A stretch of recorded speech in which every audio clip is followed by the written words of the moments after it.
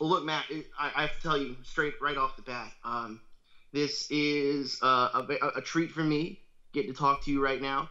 Um, I can tell you, I, have been playing your game since I was in ju- in, in junior high, um, fifth, sixth, seventh, seventh, eighth, ninth grade.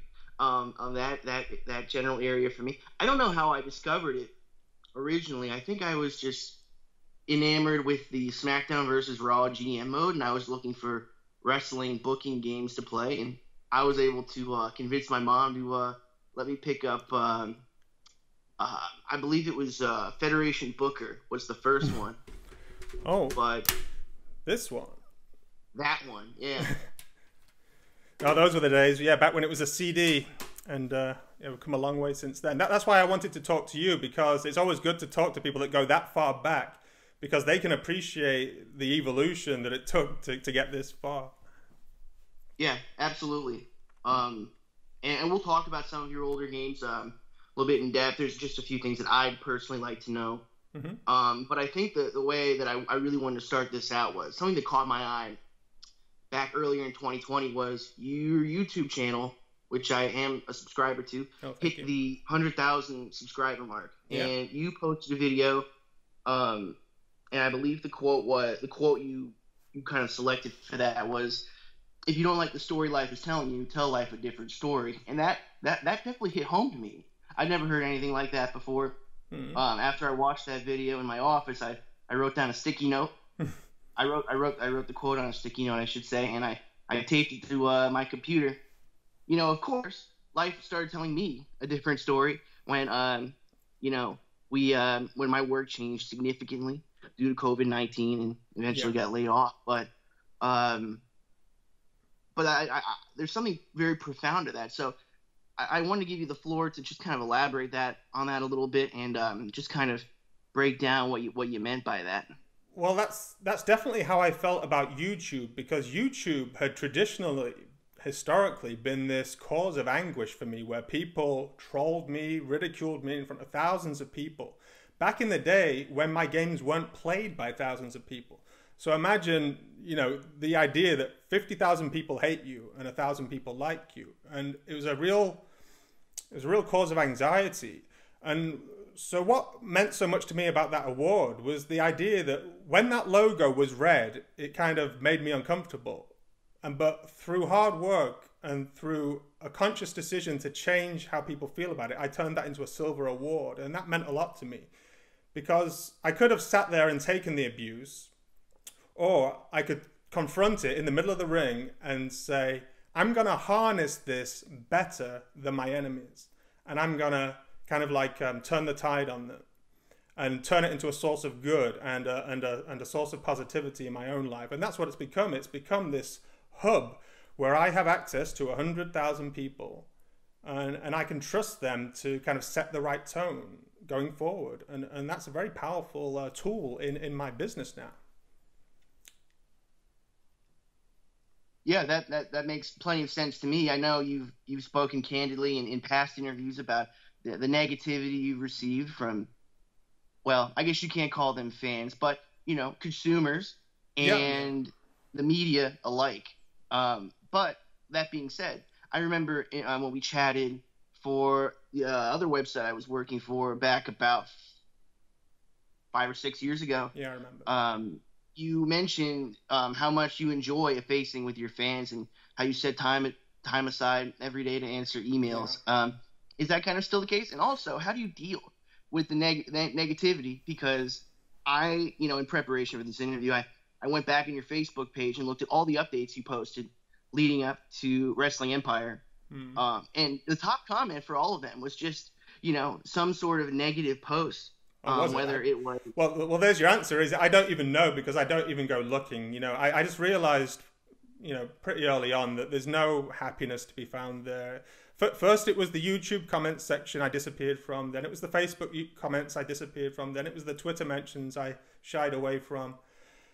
And um, so, what was your original question before we were talking about that? Oh, oh, oh. Um, no. yeah, actually, yeah. Whether I whether I still talk to the fans, yeah, that's all I've been doing on the first day of this Wrestling Empire release through emails. I've been, I've kind of like feel like I've gone through um, three different New Year's Eves. I've had one midnight in Australia, one in Europe, one in, in America.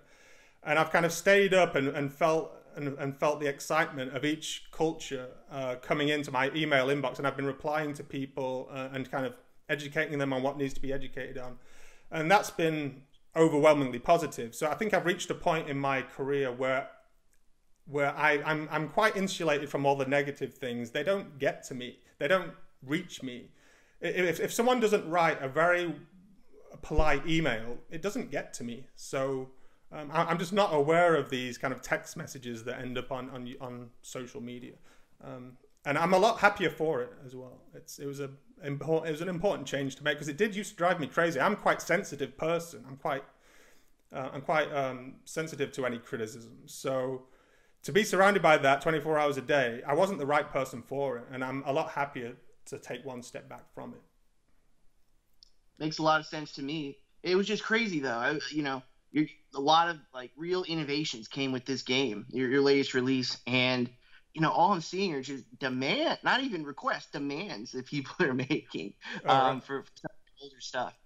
Well, I'm glad to be insulated from that because all I've received on the email is very positive so far. Um, yeah, I'm, I'm, quite I'm quite happy with that feedback. But but of course now I have to juggle different audiences because of course the Nintendo audience is going to be happy now, but now I have to rope in the iPhone audience and the Android audience and the PC audience and kind of bring them all together in one dysfunctional family and try and please everybody, which is going to be difficult, but we'll try.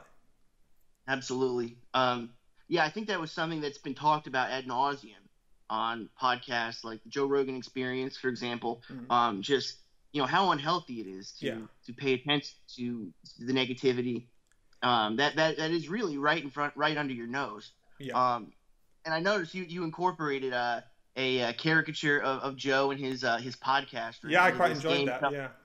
yeah. Yeah. So you know, it was. Is there any kind of influence there for you? With Joe Rogan or with podcasts or with uh with uh JRE. Yeah, I mean that that was a huge it's kind of like on in the background while I'm working. That's like my radio show. I just kind of like let it hum in the background, and uh, and yeah, I, am I'm, I'm interested in all aspects of it, from the MMA side of things to the fitness side of things, and and to the um, the cultural side of things, where I, I do take a lot of inspiration from Joe Rogan for changing the conversation. Where where like like me and you right now, I feel this is happening because of Joe Rogan because he made it okay for me and you to have a conversation and trust ourselves uh, and not because in the old days this would have I would have had to wait for a mainstream newspaper or magazine to take an interest in me. And that you know hardly ever happened. And then I would have to trust them to do a good job of reporting on it which hardly ever happened. And now all it is is a civil conversation between you and I. And what happens to it is in our hands. And, and I, I credit people like Joe Rogan for making that possible, and I respect them for for, for making that possible.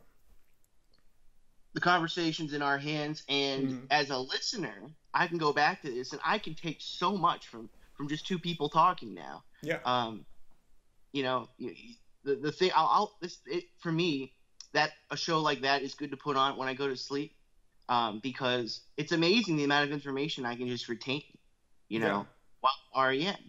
It's it's it's crazy. And that's another thing. He's given a platform to so many people that we would never have heard about. I mean, and I'm very excited that he even spoke to um, a lot of game designers. And and I, I never would have I, I imagined we'd sit there listening to John Carmack talk about Doom for an hour and a half with Joe Rogan in front of millions of people.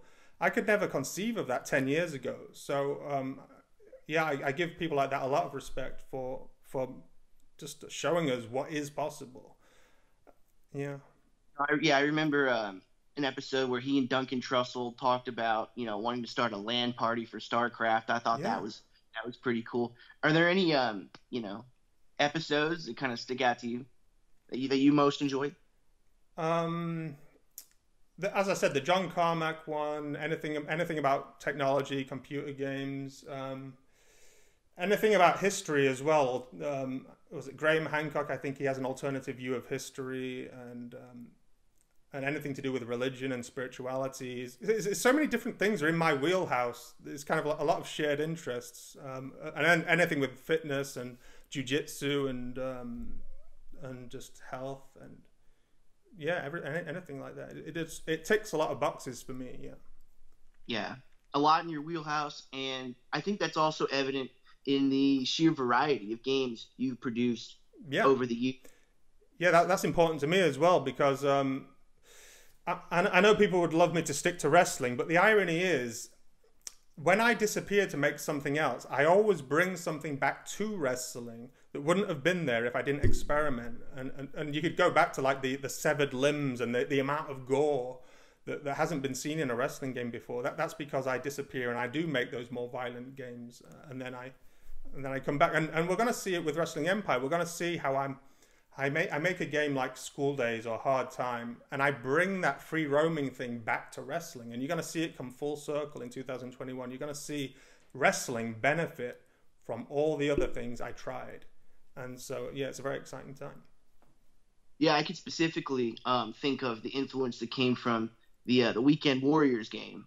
You oh, know, yeah. so many, and, and, just my my limited time playing the game. Um, so many mixed martial arts influences and the smooth transitions on the ground. It and that's that's kind of in part and parcel what makes Wrestling Empire, I think your most polished effort yet on day one. Oh, oh, definitely, yeah. I, I did, I did feel the benefit of of um, the MMA game because the I didn't feel the MMA game was successful in itself I wasn't happy with the way it worked out, but I was happy with the bones I could pick out of it and, and make wrestling better. I made wrestling more um, chain based, more chain wrestling, more transition based. Uh, not to, to say nothing of a wider variety of holds and moves. And I, am only halfway through them now um, for Wrestling Empire. There's still loads of moves from Weekend Warriors I haven't reprogrammed for this new game yet, and I'm looking forward to doing so. Yeah, yeah, me too. Mm-hmm. Um, so let's um, let's shift gears for a second. I kind of want to take uh, take our viewers kind of back to the, the beginning, the genesis of uh, MDickie Games. Um, um, just talk to me a little bit about your influences and, and what it was like growing up. Um, I know you're from uh, I, am not sure which part of England you're from, but just just tell me what maybe what your childhood was like, uh, maybe what your parents were like, um, just to give the listeners a bit of insight into that. Well, I was I was raised in the north of England, and my mother and father owned a shop, a, a newspaper shop, and they were so busy with that that I would often sit in the back of the shop, and I would be so bored that I would make my own games, uh, even if it was out of cardboard, because there's a lot of cardboard in a shop from all the boxes of sweets, boxes of newspapers, boxes of magazines, all the old cardboard. I would chop it up and either make board games with it or make physical box games with it, and um, and that naturally evolved into computer games when I got my hand hands on a computer when when I was a teenager. And so it's interesting how the the seeds were already there. The idea of entertaining oneself, of entertaining other people, what does or doesn't work. As soon as I got a computer, I just hit the ground running. Okay, now I'm going to do the computer version of all of that. Doom, doom, doom, doom, doom. And even to this day, you'd be surprised how much of Wrestling Empire is this exact same logic, the exact same statistics that I was, the exact same mathematics that I was messing around with when I was like eight years old. Um, the exact same strength, skill, agility, stamina, the, the exact same relationship between them, the, the exact same uh, 50 to 99% range. It, it was all, it's all been with me through about 30 years now, and this is just the culmination of it. Yeah, I, remember you mentioned to me that, that you got you kind of got your start in video games by just just making games in general, but mm. you know did not know that your your parents uh, uh, ran the paper um, yeah. and produced that. So is that do you think that is kind of where the the newspaper clippings aspect um, comes in your wrestling games? So yeah, it's, I've never thought of it that way. That the the my obsession with newspapers in games could be linked back to my childhood of being surrounded by newspapers. Um, but yeah, it's, it's not a not a bad idea. Um, but it's, it's mainly linked to having to find some way of expressing that things are changing on a weekly basis. And um, I, I, can't remember where I got the idea from. Actually, it must have been stolen from some game or another. That that uh, I, actually a lot of football games, uh, soccer games I played in England. Um, they had kind of weekly news reports. It wasn't in the same graphical format, but it was a weekly news report of how football teams had changed from one week to another, and a lot of what I did with wrestling was inspired by that. Yeah. Yeah, that that, that seems to make sense. Um, and you know, I kind of want to talk about the uh, football, soccer, as we as we call it in America, uh, influence um, on your games? Um, you know, we I know you made a you made grassroots. Um, uh, what were your what were kind of your uh, your thoughts on that process? Well, um, I when I was a kid, playing football wasn't this big professional experience. It was it was me and my friends at a park kicking around a ball, however and wherever we found ourselves. And I always wanted to make a game that was that freewheeling, that free roaming, that that kind of um, spontaneous. And I also wanted to make a, a sports game that was very character driven, just like I do with wrestling. You could take that to any sport and make it character driven and make them argue and make them have storylines, make them have angles. You can do that with any any sport. So I thought, let's bring the conventions of wrestling to another sport like football. Let's make it um, where anything could happen at any moment and see what happens. But unfortunately, the gameplay wasn't wasn't up to the up to to do justice to the concept because it takes a long time to master a sport. You know, I've made a lot of wrestling games. I've made the same game a dozen times, but I only made one football game. So the chances of me getting it right first time were very small. And whereas all the big companies, they've been through that evolution. They've made the same game a dozen times and they've got their concept, they've got their gameplay. And I never quite got the evolution going to to build a good a, a good game out of it. Um, so I just kind of left it to other people, and then FIFA made FIFA Street, and that was kind of that's it. It's done now. So I, I, I really don't like doing what other people have done. It, it all enthusiasm leaves me instantly. Do you think you'd ever revisit that concept? Again, I mean, there's so many football games in the world on mobile. I just couldn't compete. I, I couldn't compete with the gameplay of the of the top tier games. I, I could I could do something unusual. I could do something strange, but I couldn't do something playable yeah, it's that's a tough one, right? Because FIFA's gameplay is so much fun mm-hmm. that I think that you know it's a game that you know personally I I like soccer. I I, I enjoy following the uh, the ins and outs of, of the world leagues. But you know that's a game I could take to a non-soccer fan and they could have a good time with it. And then yeah. for someone else like me, you know, who enjoys the managerial aspect of it, Football Manager is about as in depth as it gets. I don't know how they get more in depth with those games. They they keep finding ways though. Yeah, and they've been going a long time. I was playing those in 1993. I was playing, um, I think it was called Championship Manager. Yeah, they've, they've been around longer than I have. So um, that's where I get my inspiration from. Yeah.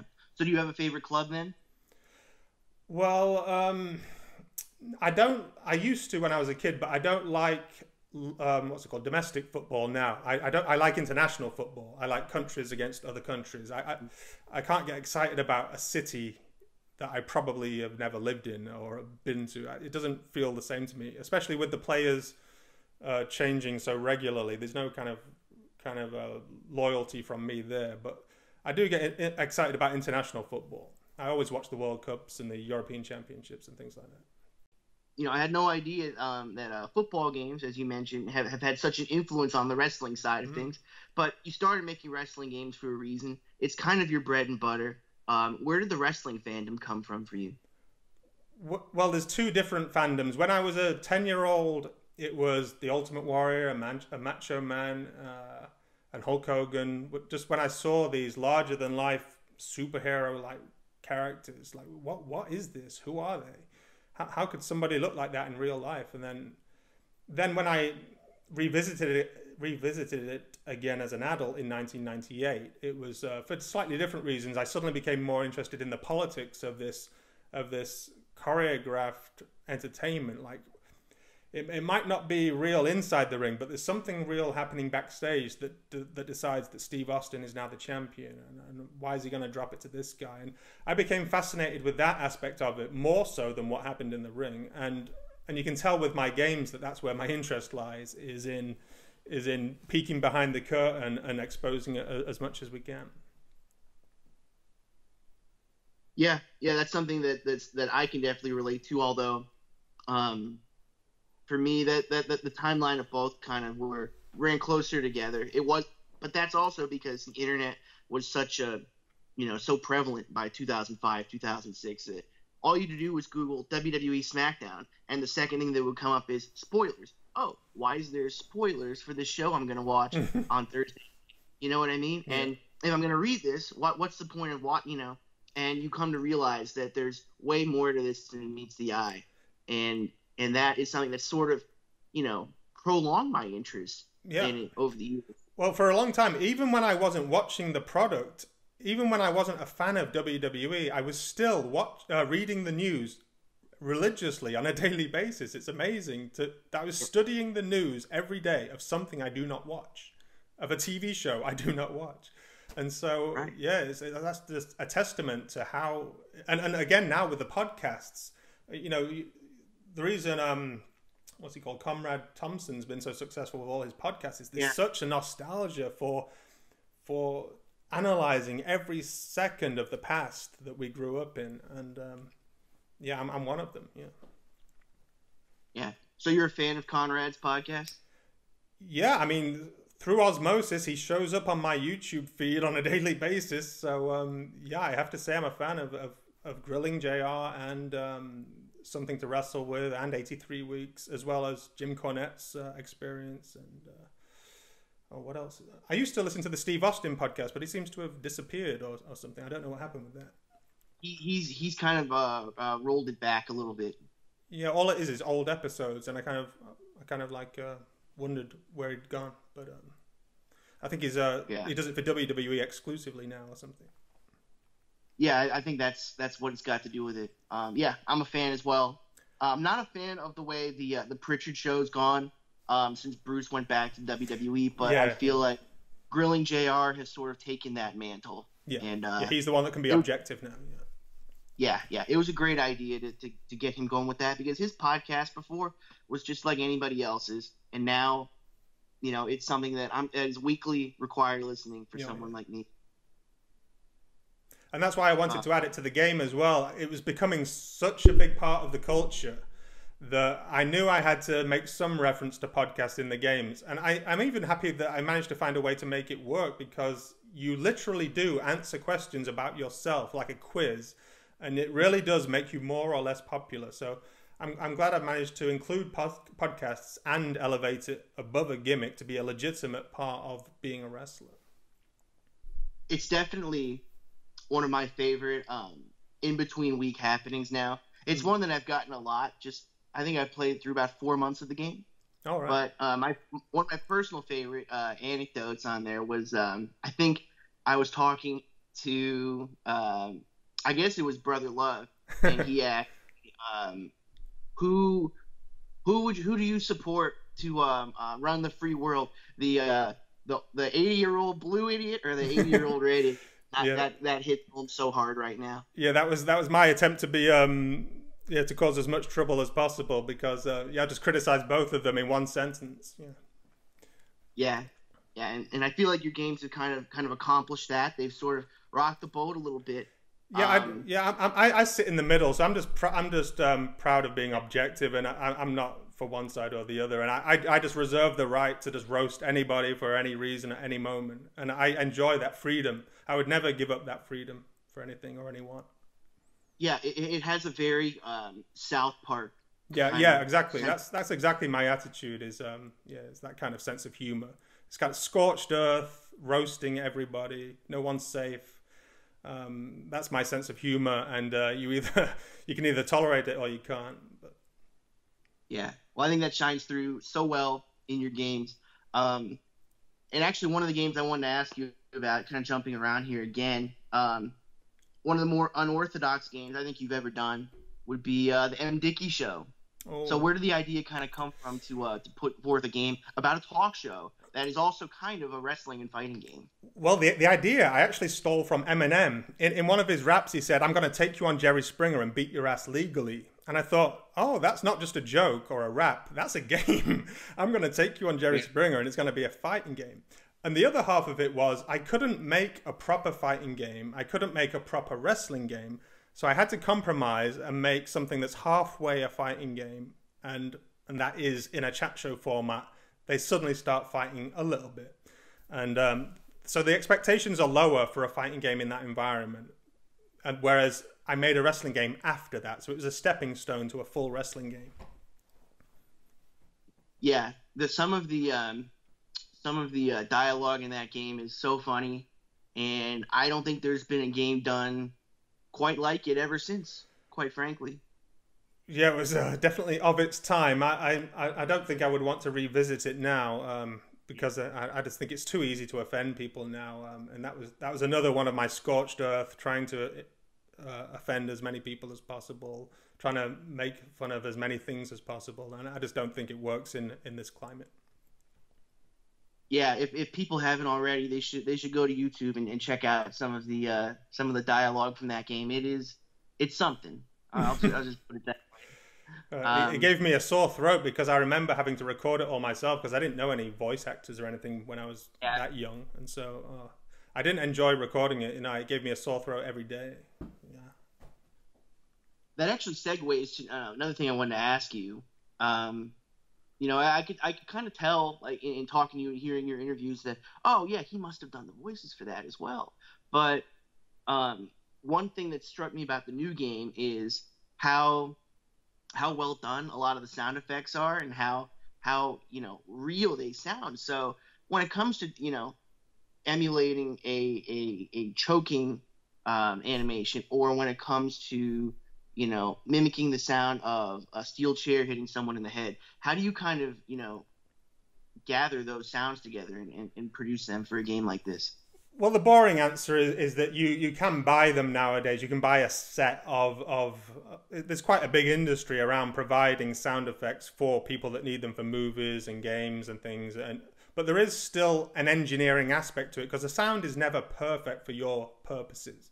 You always have to um, see what's available, bring it in, edit it, shorten it, crop it, combine it with another sound and it, gets quite comical sometimes because sometimes it is it is me kind of um, breaking a cucumber or something ridiculous in front of a microphone uh, just to add an extra crunch to something. Um, I, I, quite enjoy that aspect. That's the that's the good thing about doing this on my own is I I, have, I wear so many different hats every day. One minute, one minute I'm I'm recording sound effects or engineering them, and then the next thing next day I'm doing art, and then the day after that I'm doing programming. So um, I never get bored uh, in this job. Yeah, no, that that that makes uh, plenty of sense to me. Um, um, now, transitioning back towards uh, the, the 2D, like I mentioned, one of the first games of yours I ever played was Federation Booker.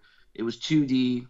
Um, now you've you're one of the only developers that I can think of off the top of my head that's made the transition from 2D to 3D on multiple occasions. Yeah. Um, what was sort of the motivation for wanting to do it the first time on the PC platform, and then you know, kind of transitioning back into the into the mobile?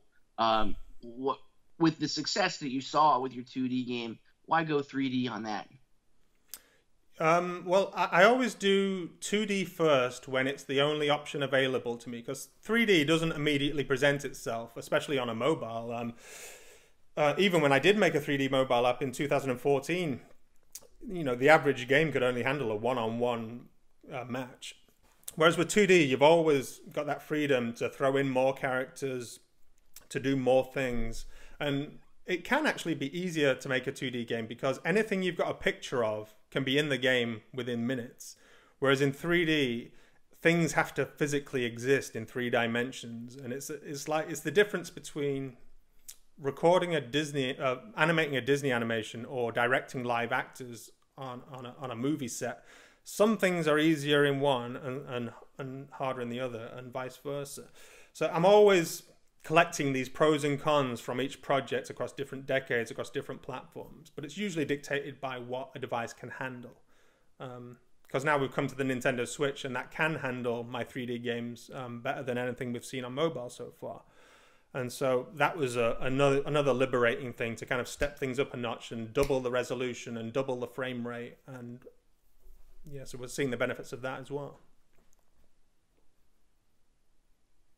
yeah I, and I, I think to your point about 2d you know it, there's there's a lot of ways to you know broach that and you know one thing that i've seen you know just to put my um, video game hat on here for a second um, you know there's standard 2d you know um, Federation Booker was that.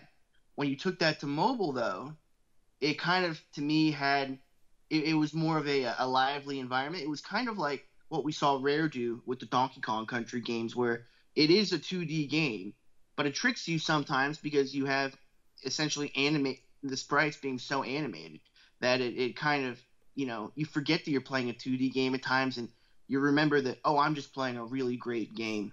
No, thank you. Uh, but another another connection is that I did literally take screenshots of the 3D game. That, that Wrestling Revolution 2D is screenshots of Wrestling Empire 2008.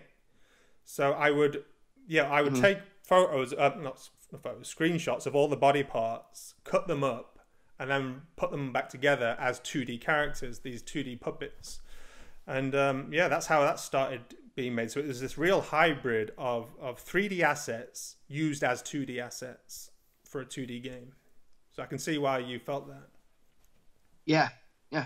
Well, I think I think maybe that you know lent to some of the uh, success. You know, in addition to just mobile being a better fit for you. So let's talk about that for a second here. Um, you mentioned to me in our chat a few years ago that you, when you were on PC, although it was the way I discovered your games, you didn't feel that you were getting out what you were putting into it. Um, yeah. You want to kind of explain that to the audience? Um, well, it was it was literally true that uh, if you worked out how many hours I was working versus what I was being paid, it, it was I was earning less than the minimum wage at, at, some points, and I just literally wasn't getting out what I put in.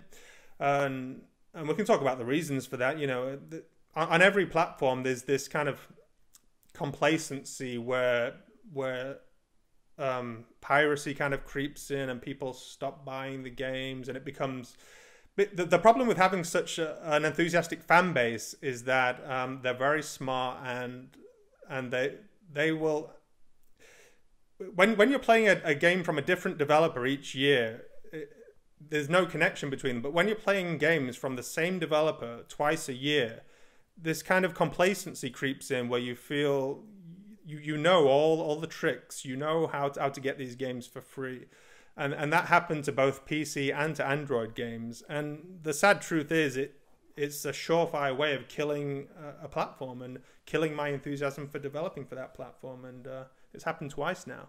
And one of the most exciting things about the Nintendo release is that that's um, it's going to be a lot harder to see that fall apart, and uh, it feels a lot, a lot more secure already. I already feel so much better to be surrounded by people that have invested in the game and and that it means enough to them to buy it. Um, yeah, I feel it's it's. Um, I mean, I appreciate all the people that do. Of, of course, there's thousands of people that do buy the Android games, did buy the PC games, and I feel sorry for them that I can't do more for them because they do deserve more. But at the same time, the the simple economics of it uh, doesn't always make sense. Well, that's an excellent point about the uh, about the Switch, mm. um, because I'm, I'm sure, as you know, uh, Nintendo has a long, lengthy history of um, going to extreme, like the drastic measures to prevent piracy, um, yeah. piracy, I should say. um, you know, that's I think that's part of the reason why they kept the uh, the N64 on cartridges and and they wouldn't yeah. do the deal with Sony where they were going to make a disc a disc system, and that's kind of what led to the creation of the PlayStation, if I'm not mistaken. Yeah, yeah. Uh, I, I do feel a lot more secure in this environment. I mean, um, yeah, I mean, and it's one of the reasons I made the switch to the Switch. Is is the it's just yeah, it's much more secure. Yeah, well, we'll talk about what a great fit I think that plat that uh mm. that uh, that console is for your games now. Um, but one one one more thing I wanted to touch on before we kind of took that next step was I, I there's one more game I got to ask you about from your your 3D PC days and and that's the New Testament. Mm-hmm that is that you know that that's a game I had a lot of fun with. It it really you know kind of explores the open world aspect that you talk about. Um, where did you get the idea to make a Jesus Christ simulator? Well, I've that that um that period in history fascinates me and it, it, always and what fascinated me more was the idea that you're not allowed to make games about this we're allowed to have movies about it, we're allowed to have books about it, we're allowed to write songs about it, but for some reason we're not allowed to have interactive stories about it.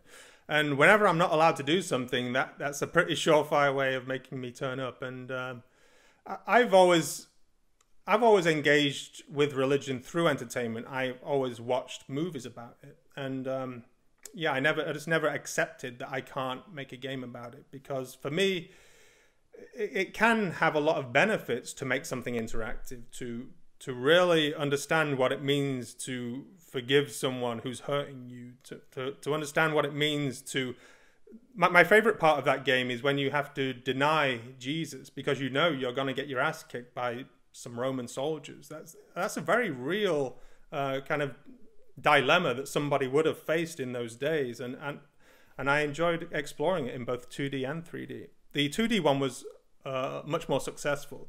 I, I, would call the 3D one a, a kind of um, a, a, botched attempt to do that, whereas the 2D one um, I consider I'm a lot prouder of. I I, think um, and and a lot of people are, are shared my enthusiasm for that one. It was a lot more successful. It was played by about three million people, with um, an eighty percent approval rating, which is fine by me. It was a big improvement from last time. yeah, for a game like that, I think I think you'll take eighty percent to the bank and be happy with it. yeah.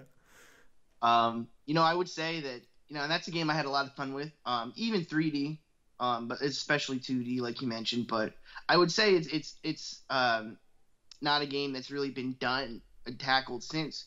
But have you seen the trailer to this I Am Jesus Christ game that's coming out on Steam? Yeah, I did. I did see that trailer. Um, I, I hope I hope it's a legitimate game because one of the things I wanted to accomplish with the New Testament was not about me making a game about those that period. Was I wanted to make it palatable for someone like Rockstar to make a game about that period. Because I, I, had a dream once uh, that there was a game about the life of Moses and it was as good as Red Dead Redemption. The graphics were as good as Red Dead and it was as playable as Red Dead.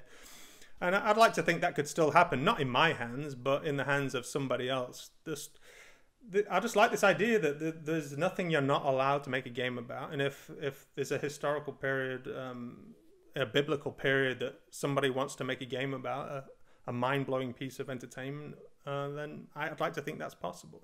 I'd like to be part of making it possible. Yeah, you know, it's interesting that it's it's funny the way that religion has a way of you know riling people up mm. because when the trailer to that game came out for the first time and now they're way further into development but the mere teaser of that trailer you know made all the major news outlets here in america and uh, i think that's you know exactly the kind of press they wanted, and and now it looks to me like it's it's on its way to becoming a legitimate game. Um, yeah, it's it's crazy to me though. Yeah, I. But yeah, pe- people assume that you're making fun of religion whenever you make a game about it, or, or, or the other way, they assume you're being preachy about it. You, you kind of can't win, you know. Um, whereas with me, it was neither. It my mine wasn't orthodox enough to be preachy, and it wasn't it wasn't critical enough to be blasphemous. So I, I tried to stay the middle path where I'm trying to make a an entertaining um, game a, with a philosophical edge to it, uh, and I believe it deserves to exist, and and I believe I, am qualified to give it a try. And and yeah. I, I, wish luck to anybody else who uh, who wants to take a sincere attempt at it because no, nobody does yeah. this for fun. No, no, nobody does this. I, I didn't spend six months of my life uh, to mock Christianity. Um, I could have, I could have done that in three minutes. I could have mocked Jesus in three minutes with a with a very depraved game. Uh, that was obviously not my intention. I spent six months um, churning out something that was a bit more considered. That's a great point. Although I, I, I I do have to tell you that after having played in the MDickie uh, show first, to then come to the New Testament, I was expecting, you know, a bit of a spoof, but I have to tell you, it was it was a really by the book experience, and I felt like I came out of it having learned a thing or two. Oh, thank you. I, I hope so. There are a couple of jokes in there, um, mainly stolen from Monty Python, uh, The Life yeah. of Brian. Yeah, I've got a sense of humor, and uh, and um, I believe relig- religious people had a sense of humor as well. Uh, I believe God has a sense of humor, so I've, I've got no problem with that. Yeah. Um, you know, segueing back into uh, into the mobile space. Um, one thing I do have to ask you about that kind of pertains to the, the future of, of video games and something that I think we're starting to see more and more is developers really taking liberties with the way of the uh, the internet and the power of patches and updates and releasing what are essentially broken games or incomplete games or beta versions of, of what we come to see as the final game. Now, I don't have that. Um, I've never had that um, that take on any of your games. You you seem to produce a um, a full experience that someone can have. Someone can have a lot of fun with it, and then everything else on top of that is just gravy. There yeah, are you... times though where I, I do feel like I'm being shortchanged, and you know the the one that comes to mind immediately right off the bat is uh, the uh, last WWE 2K game that came out. What a, just what a disaster that was. We don't have to spend any time on that, yeah. but I do think that it's especially with with the way Cyberpunk is gone, all the all the news surrounding that. I think it's a, a conversation worth having about the future of video games. What do you think about that? Well, I'm not exempt from it myself because Wrestling Empire is the closest I've come to what you're talking about of, of releasing a game that is not quite there yet because this is only a third of what I wanted to accomplish in 2020. But the way 2020 went, um, it just wasn't happening. I was I was here homeschooling two children and I was working a part time schedule. So this is only a fraction of what I had planned for Wrestling Empire's debut. So you could call this incomplete. And there was a day one patch um, for, for me as well. And, and there's still more to come. Uh, but and the problem, the reason so many of us are in that situation now is that games are just getting harder and harder to make, longer and longer to make. And so when someone like WWE commits to a year, an annual schedule, that is unsustainable. That is out of this world. And so, um, and so you, you're just going to see it more and more often until until people accept that games do take longer to make. And um, I don't know how you balance the books in that instance, um because um, time is money is the cliche, and uh, the longer you spend making a game, the more money it has to make. So it's a vicious circle where You've got microtransactions filling in the gaps of all this extra time that's gone into a game that's too big and couldn't be. And the, the irony is, it couldn't be finished. So it's, yeah, it's a very messy little circle that's going on. Yeah, as it pertains to the WWE games, I think they're going to have to take a long, hard look at, you know, what what they want to get out of their games and what what people want to get out of their games, and is it worthwhile to you know do a yearly release because that game was just such such a disaster. It was it, it made worst game of the year on several you know video game YouTubers that don't even like wrestling. Yeah. But it was it was you know such a, a glitch fest and it, really a broken game. Mm. Um, the uh, the cyberpunk situation on older hardware, you know, is kind of like that as well. Um, and you know, I, I'm someone that you know played a lot of Animal Crossing earlier in the pandemic, and um, I don't want to say they they shortchanged people in any way, but they you know they they they really add they really almost doubled the size of that game um, since its release, and you know is that right or wrong? I I, I don't know. I it, it's a moral dilemma. I think that a lot of people are having, and I think that's why the Switch has become so successful. Is because the Switch knows what it is, and it's, it's really leaning into these games that are easier to make and easier to digest and so while the PlayStation 4 and all, and all the next gen consoles, while they overreach, the Nintendo, Nintendo Switch and the mobiles are just going to sit there in the middle, um, just staying in their lane and accomplishing what they set out to do, putting one foot in front of the other. And I think people are gravitating towards that. I mean, that's been my experience of, of day one of Wrestling Empire. Is I've never had such an overwhelmingly positive response from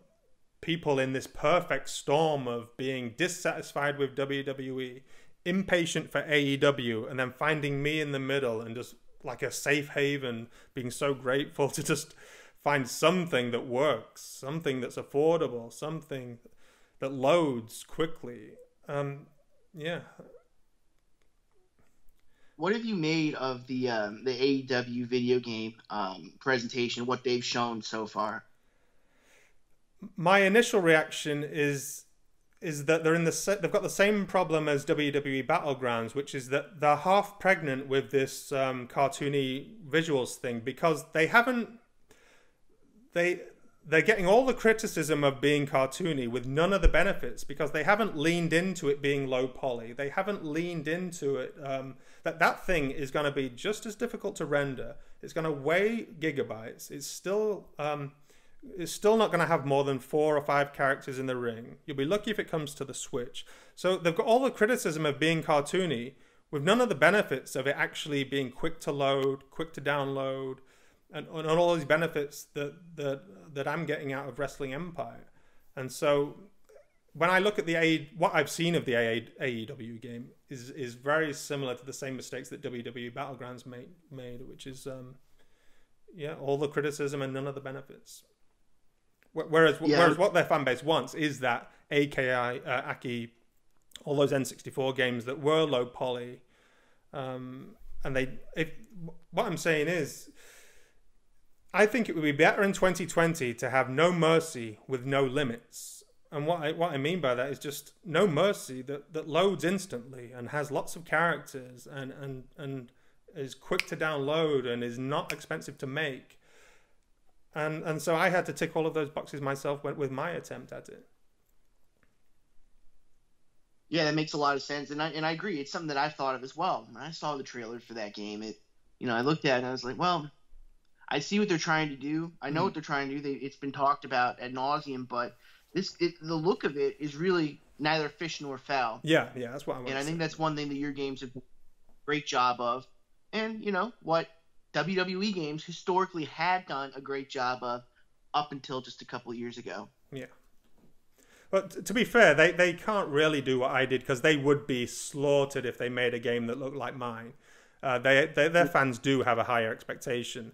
Um, but um, it's just it's just a shame that they can't kind of embrace the benefits of modern technology because I, I would have been happy if games never got better than Street Fighter 4, never got better than Grand Theft Auto 4, but just worked perfectly. I'd be perfectly happy. That I'm I'm fine with how they look.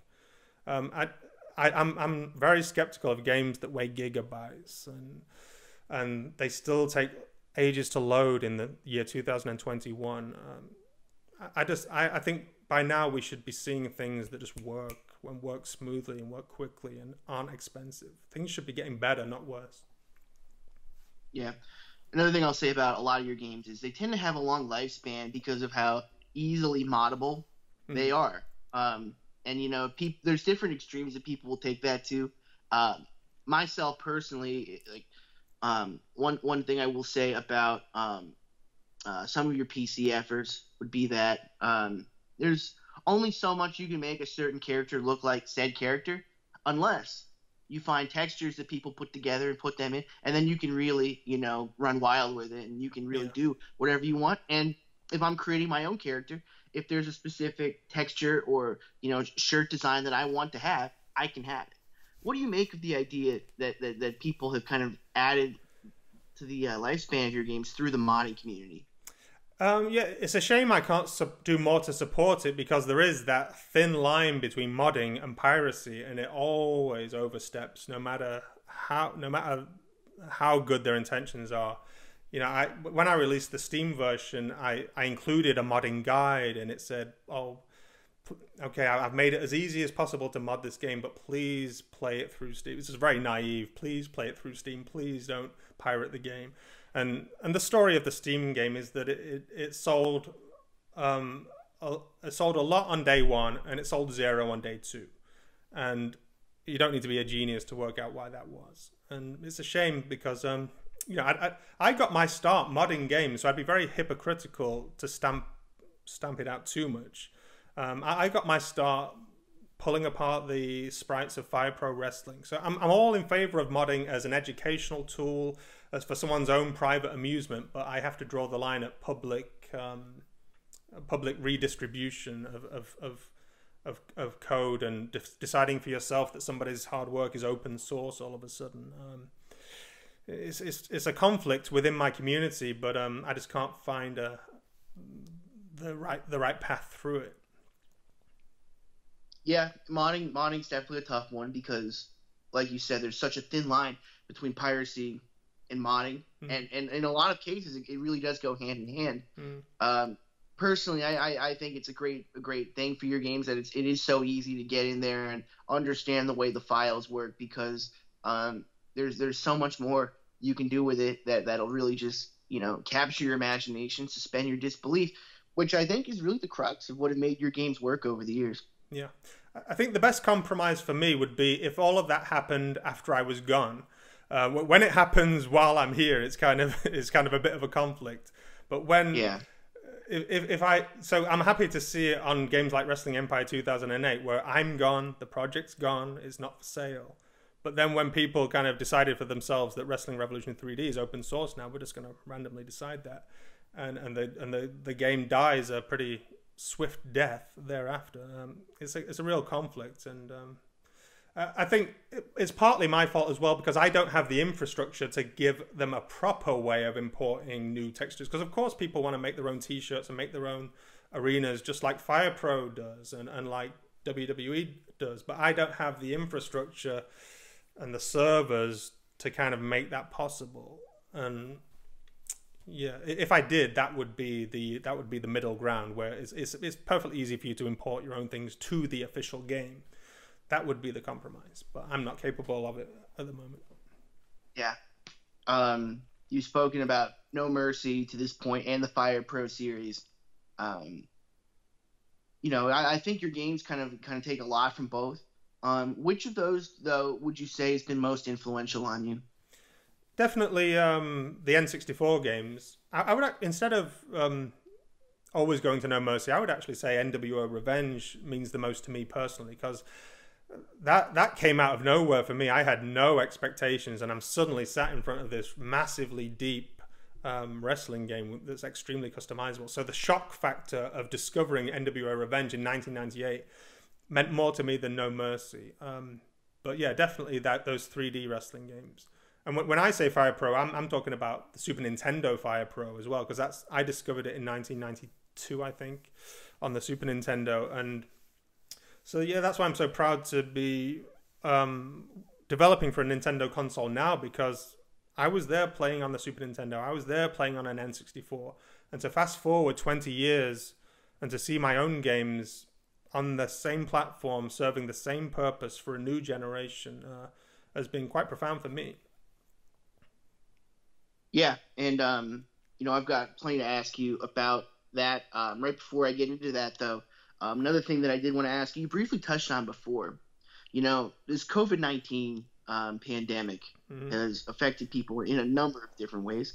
Most for the most for the bad, but I think that, that people that you know um, that get to work at home anyway, you know, conventional thought would say, oh, this is actually going to be a good thing for them. They're going to be able to get more done. They're already adept at working from home. A, lot of people had to learn how to work from home uh, during this time, and there was a learning curve there. But you know, for you, you mentioned that you were able to actually only get a third done of what you planned on doing in 2020. So, um, you know, I find that really interesting. Well, um, yeah, we, we were one of those statistics that was indirectly affected by COVID because um, um, a lot of people in my family were severe, were extremely ill uh, with things that had nothing to do with COVID, but we still had to uh, go in and out of hospitals on a weekly basis um, while homeschooling two children when friends and family can't come within two meters of supporting you. So um, it was undoubtedly the most stressful year of my life um, before I even started making the biggest project of my career. And so, yeah, I was juggling a lot of balls in 2020, and um, yeah, even I had to tap out and say, I'm not going to accomplish what I wanted to accomplish this year. Yeah, I, I think that's something that a lot of people had to had to um, come to terms with, and um, uh, it's good that you did. And, and, and, with all that being said, we've got a, a uh, wonderful game here um, on day one that, that people can pick up and play. Um, and as I segue into into all the questions that I have about that, um, the first thing I have to ask you is what drew you to the Switch in the first place? Because I remember the, the day you posted the uh, the first picture of your game on the Switch, I was like, oh, now now we've got something here. well, I'd spent well, basically, I was retired in 2019, and I spent that whole summer um, playing Mario Odyssey for fun. Just for the first time in, in a long time, I played a game for fun, not not for work. And um, that just rejuvenated my love of games, of, of playing games, and then that rejuvenated my desire to make games, especially if the Nintendo Switch could be one of them. And and uh, well, when I um just the the, the application process was a story in itself because I I first applied um, when I when because I live in Europe when I because I live in England everything I applied for was sent to Nintendo Europe. And and they they weren't huge wrestling fans and they were like no no no this isn't happening. And so I was like hmm. I was like shocked because I thought oh no no this has to happen. I have the answer to this problem. I have to I have to make this game. So I had to hustle. And I looked on YouTube and there was this guy giving a speech to Nintendo employees. And I looked him up on Twitter and his DMs were open. I slid into those DMs and said, um, You've got to talk to the people. I need someone from America to go to bat for me in Europe and, and let them know that I, I have a wrestling game that, that needs to be made that, that belongs on this console. And so through it, through this indirect assistance of an American uh, Nintendo employee, I got the European office to accept my request. And then I finally got this opportunity to develop for the console. But um, it could have very easily um, never happened. Um, a, a, a, normal person would have given up at that point. But um, yeah, I just couldn't let it go. And I, I hustled for, for um, an alternative. And uh, yeah, I, I, I, got my development kit and. Uh, and then that was a whole other year long learning process because it's a, it's a, it's a very difficult thing to master a, a console with different controllers and, and, and, different configurations. And my first time making a game for a console of that stature. And um, yeah so something went wrong every day. Something went wrong that could have derailed this whole project. And every day that problem was solved by the end of the day. And, and it was such such a relief to just get over the finish line that's that's an insane story. Mm. So if I if I'm hearing you correctly, you had to get initially approved for your concept. yeah, yeah, yeah. Just, just to be just to be with the company, just to get a deal, just to get the permission, just to get the console, just to get the development kit. There's a whole approval process, and so it's quite a privileged position to be in. And um, yeah, it wasn't looking likely at first until I um I kind of just um had to speak to different countries and get different countries on board with with the with the concept. Yeah. Um. Well, that's a lot better than I guess developing the game and then you know taking hey I got this wrestling game. Oh, we don't like wrestling. Oh, but yeah, also. Yeah. How insane is that? You know, if you look if you look on the Nintendo eShop, one of the great things about the Switch is that it is so good for indie developers. Yeah. And kind of really necessitated the fit for you specifically but you scroll on there long enough, and you'll quickly find that there is a lot of junk yeah. on that store. So to just look at you know the concept of oh wrestling game, we don't want that like that, that that's that's crazy to me. Well, that, that's something I've been struggling with um, my entire career. There's a there's a lot of um, snobbery. What's it? What, what's the word? Uh, there's um, a lot of discrimination against wrestling, where it's very looked down upon. Um, either by journalists or by award shows or, or, or by publishers even if, if someone's not a huge fan of it they think you're crazy they just think this is garbage you know and and so it's, it's a developing wrestling games is a constant kind of brotherhood of finding like-minded people i found this like-minded journalist i found this like-minded publisher it's like this secret society and we're yeah. all hustling to just try and get these projects over the finish line and and that's sadly one of the reasons why you don't see too many of them. Is that um, yeah, it's it's it's a it's a very um, difficult. it's as diff- it's as difficult as the industry as the real wrestling thing used to be. It used to be very hard to find a real wrestling trainer. It used to be very hard to break into the business. Oh.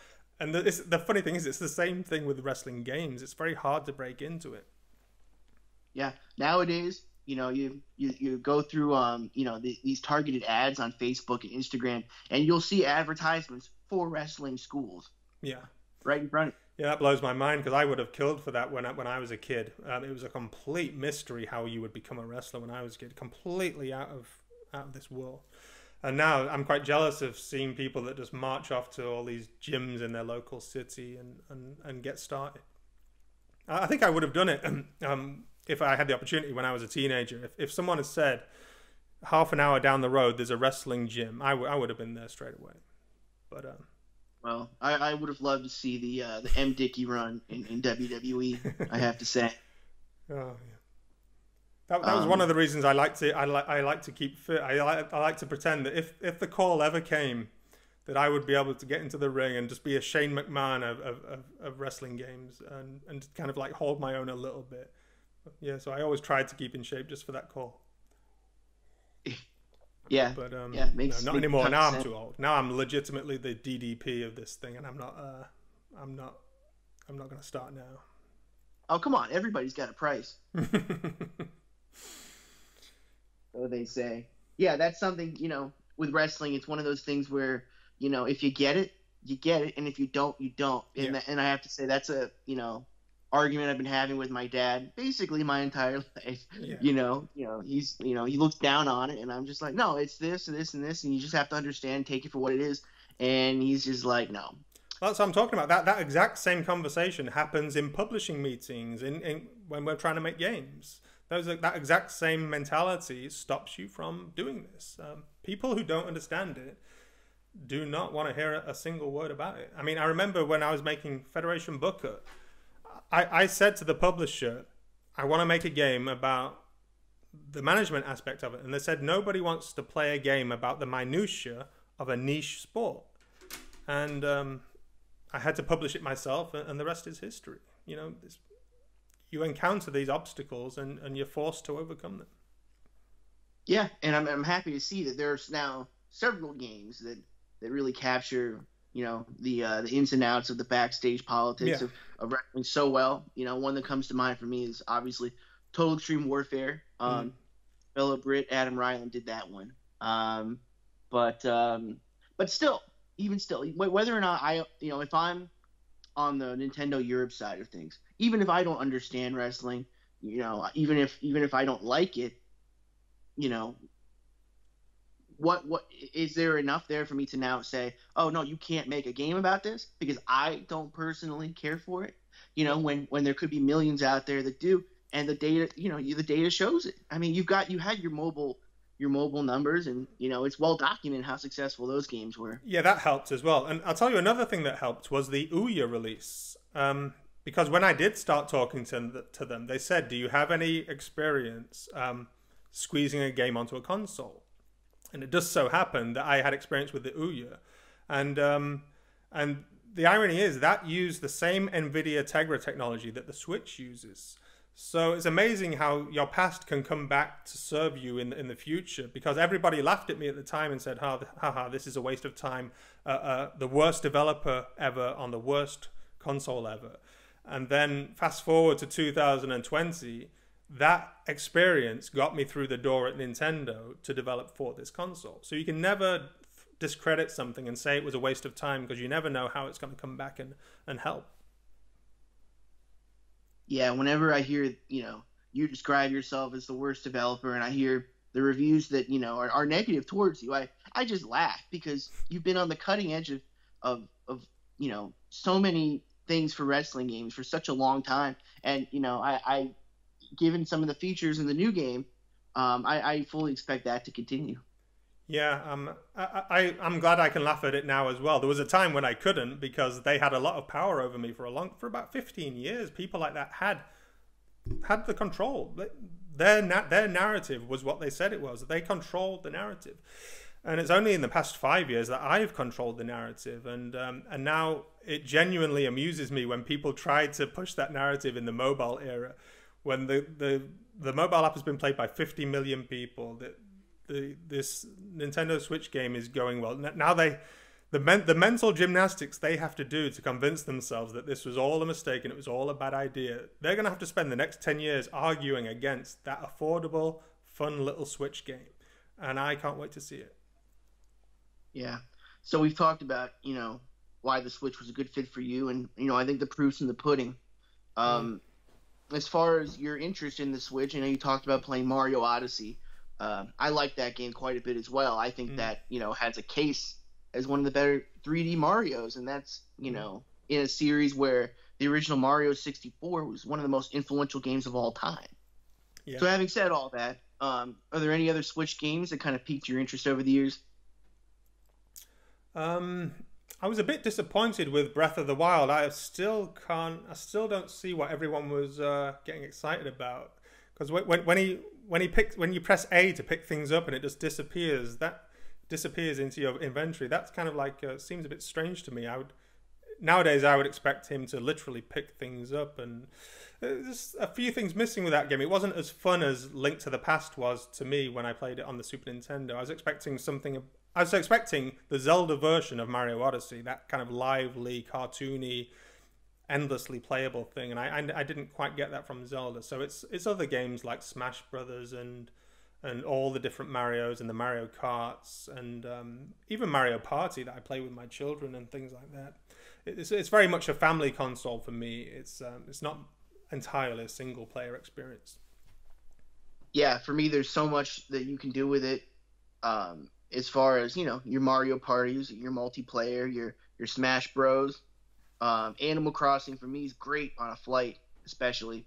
Um, but yeah, as far as Breath of the Wild goes, I I think that art style has a ton of potential. Mm-hmm.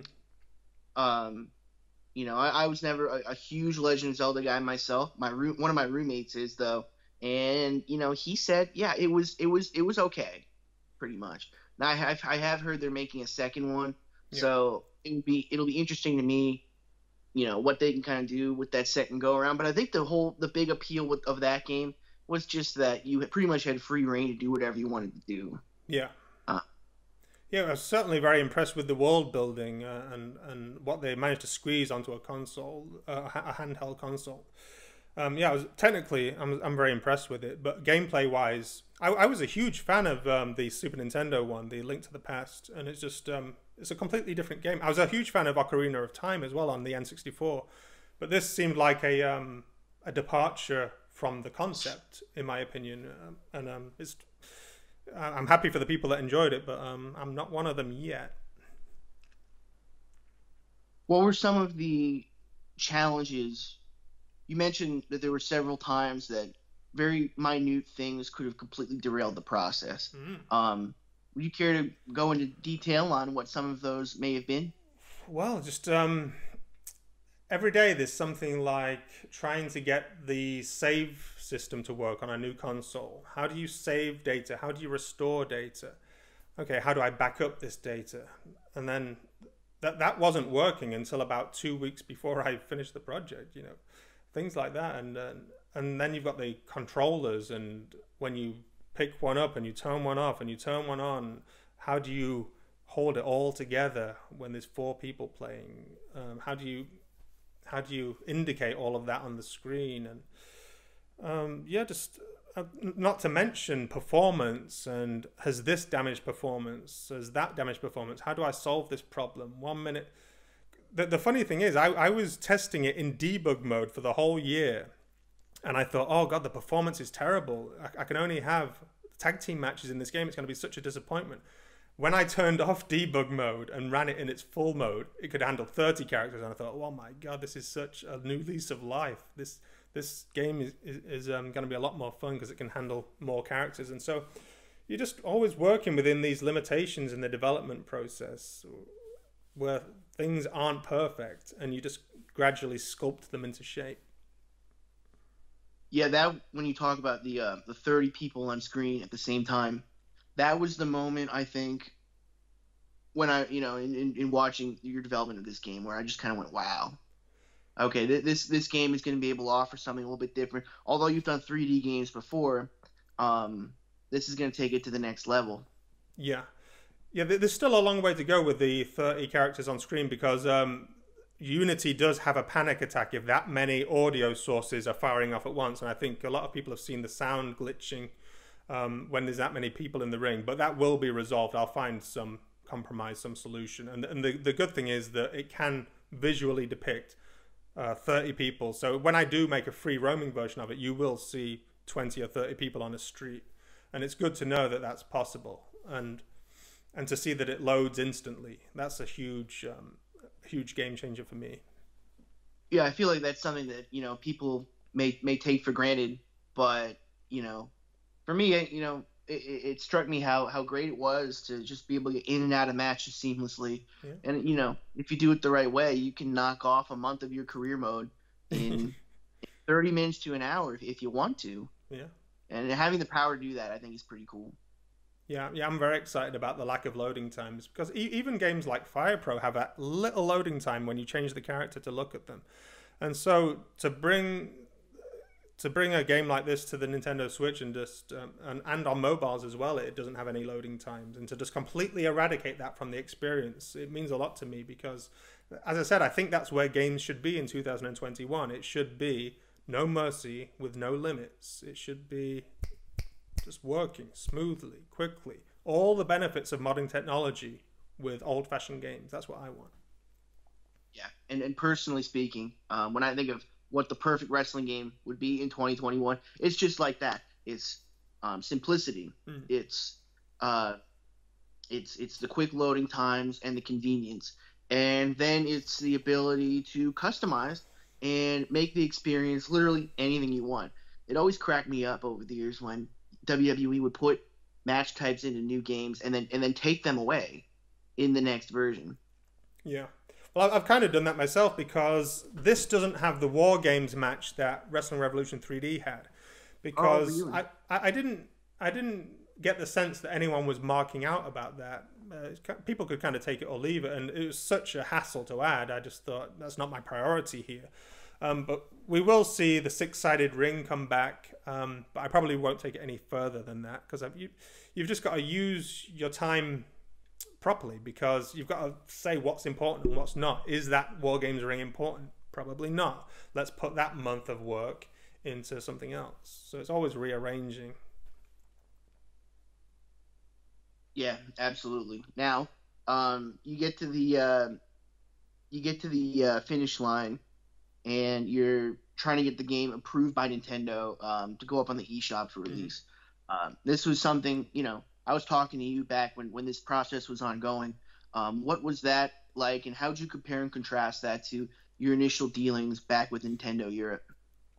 So yeah, there's there's three stages to um, to making a bringing a game to a big console. Is the the approval at the beginning, there's the learning process in the middle, and there's the approval at the end. So there's three huge hurdles you've got to overcome to get this far. And um, one of yeah, as I was saying to you, one of the biggest um, things that I wasn't prepared for was how long it took to approve a game that was already finished. I mean, this game, what you're playing now, was finished on Halloween.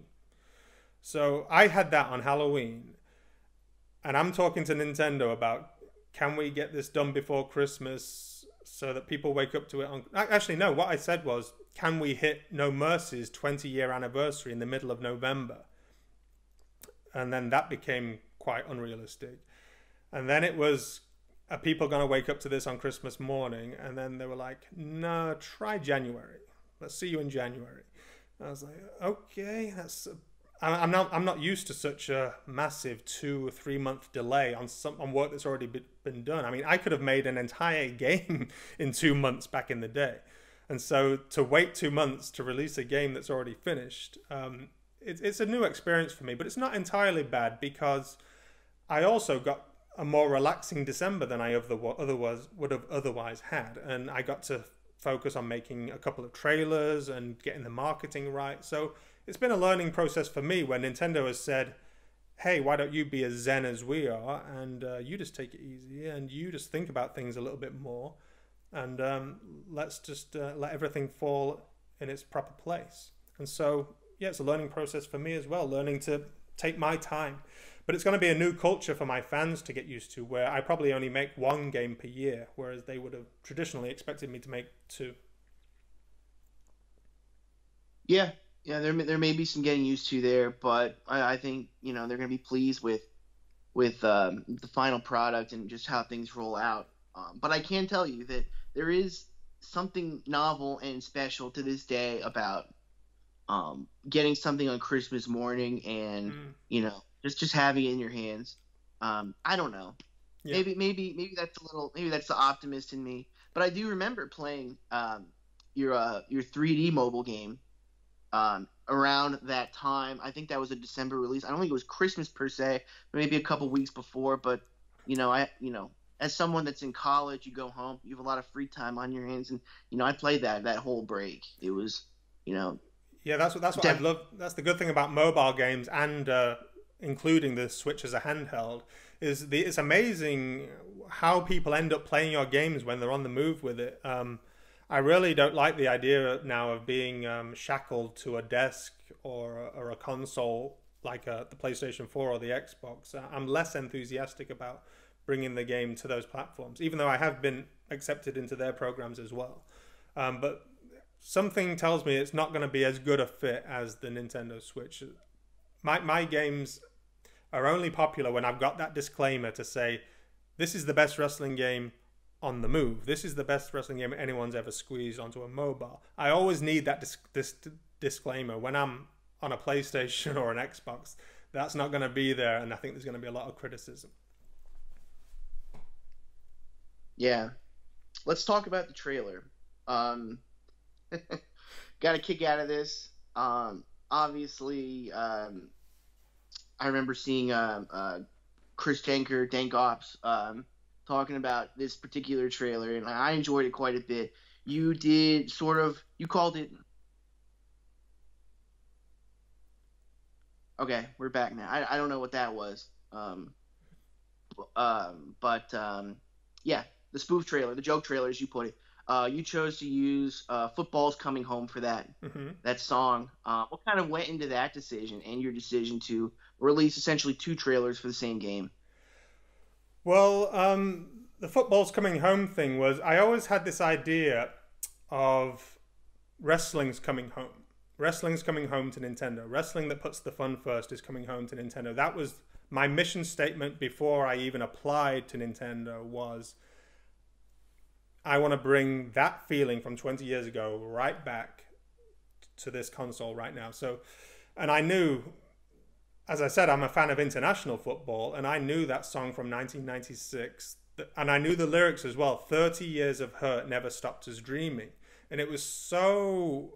Um, so similar to the wrestling fans' experience of 20 years of hurt waiting for No Mercy to be to be matched uh, and it never stopped us dreaming, and uh, we need it to come home. And it was just such a perfect storm of all those emotions, and and and I, I knew that was that was a song I wanted to have fun with.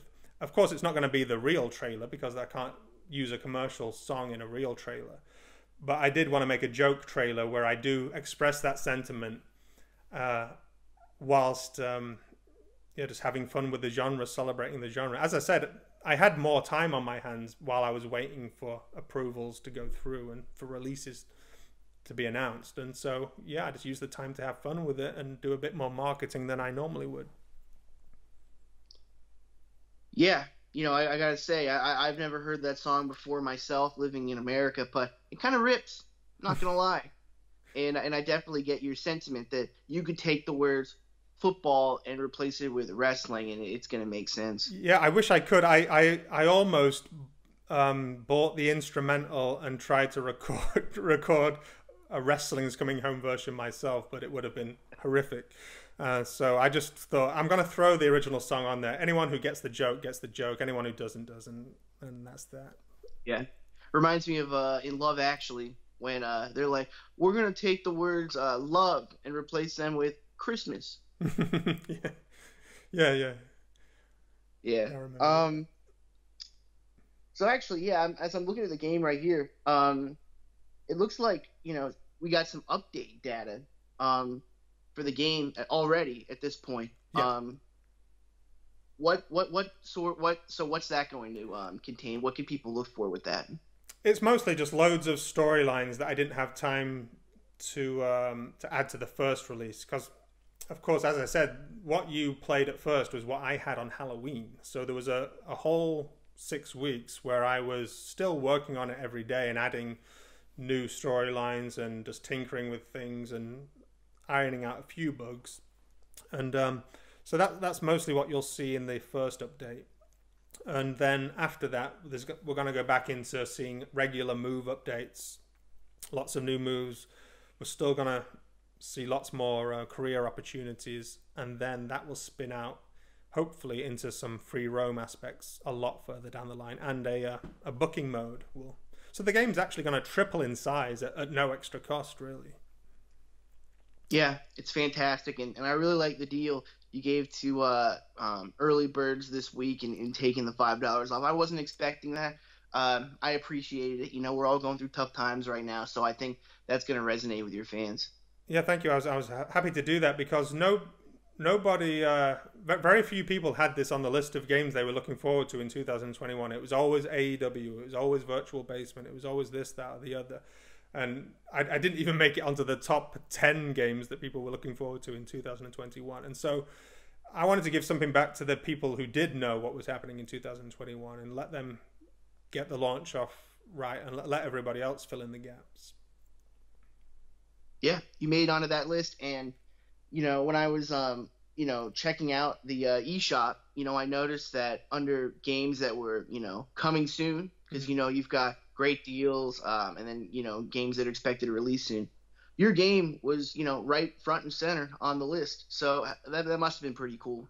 Yeah, yeah, uh, uh, yeah. I'm, I'm I'm very happy with the uh, with the feedback I've gotten so far. It seems to have a it seems to have a, a larger audience than even I thought. I, I, I, thought I would be on the console, but hard to discover.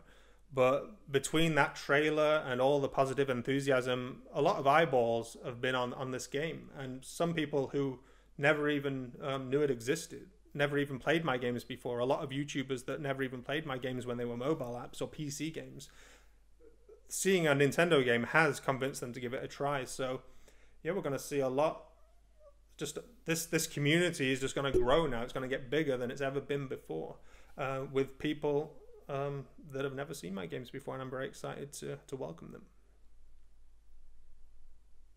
Yeah, yeah, it's got to be uh, a thrill when you see a YouTuber like uh, Chris Danker playing your game and, and going through the whole career mode and, and, and the booking features of uh, of your last game too. Yeah, yeah. P- people like Chris did a lot to uh, to to help promote um, Wrestling Revolution 3D because you know millions of people discover the game through people like that who probably wouldn't uh, have otherwise they, they would have normally expected him to be playing a WWE game. Um, so to see him play um, one of my games, it really put a lot of uh, new eyeballs onto my games.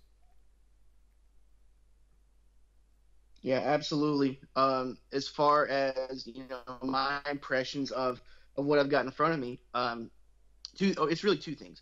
One, the gameplay is like I mentioned before, it's as polished as ever. But one thing that I've already you know gotten some experience with is the move melding aspect of it. And you know, a lot of wrestling games, you know, you can get a double team move if you press grapple and and your uh, partner presses grapple at the same time simultaneously or or close to that. But here you can actually literally combine moves. Yeah. You know, you can you know pick someone up throw them to the other person, and then you know they can hit them with whatever move they they picked out. Um, and I think that's something that's going to become very influential for this game down the line. But where did you come up with the idea to do that? Well, my favorite thing about about um, about these games is is just thinking of all the different ways the human body can interact with another human body, and especially in a game, I don't have to be realistic, so I can do all these you know ungodly things that you would never see in a real wrestling match and and and I've put a lot of effort into this animation system where anything can happen at any moment. I've put a lot of effort into making it segmented. It's like they're like Lego bricks, all these different frames of animation. So I can cut into a move at any point, at any time, connect it with any other move at any point, at any time, and it will somewhat smoothly fill in the gaps. And and that just that to me is what is so great about wrestling is just the physics of it, the physics of these two humans finding ever more creative ways of hurting each other. And now I, as a developer, can be part of that process, and I can just, you wouldn't believe how many hours I just sit there thinking of all the different ways of countering a hurricanrana. How can a hurricanrana combine with a power bomb to do this and then that? And then at that point, if he's on the ground and he does that and he lifts his leg there, I, I, it's like solving a puzzle, thinking of these hundreds of different ways. And, and we're still only halfway through it because every time I add a new move, I'm going to add a new counter to that move and a new hybrid version of that move and a new combined version of that move. So every one little move I add is going to blossom off into about five different directions. Yeah, it's something that I've already you know seen a handful of times, and something that I think is going to you know get you very far with the uh, streaming community. Anybody that wants to pick up this game and play it, they're gonna you know put put together you know compilations. I think of all the crazy crazy uh, you know recipes they can come up with for yeah for that's that's, that's another thing i love about the switch is that recording feature. Because in the old days i would have to predict that something was going to happen and or hope that something was going to happen. Now i wait for it to happen hit record it's, it's done. It's it's sealed in history. And oh, i've enjoyed that a lot. It's made my job a lot easier. That's why you've seen so much more video from me is because the switch is giving me more video every time i play a match. Yeah yeah, definitely. And I, I think the other thing that um, that really struck me is the uh, the uh, changes you've made to the character creation. Yeah. More layers, more things you can do with hairstyles, and again, I think people are going to have a much easier time with this game more than any other game you've ever done, with yeah. you know creating their favorite wrestlers um, to a T, yeah. um, and and really being able to, you know, find the attention to detail that it's going to require that a lot of people you know are going to really take to with that aspect. Yeah, I put a lot of effort into that. It's always a compromise because you can't have everything. I mean, I, I am in awe of WWE's creation suite. They do that very well. Um, I, I, will never match the things they can do um, with clothing and with the human body, but uh, I've tried my best. Um, Unity did open up some new possibilities of, of of changing the structure of a of a of a model instead of replacing it, which was a big difference because I can I can change how fat someone is. I can change. Um, that's where the hair came from. I can change the shape of the hair without replacing the hair, and so it's a completely different um, way of looking at the same thing, and it's opened up a lot of opportunities for me. And and we're still there's still going to be some developments there. I've still got to take a look at facial hair and how larger facial hair can be added to it and change the shape of that.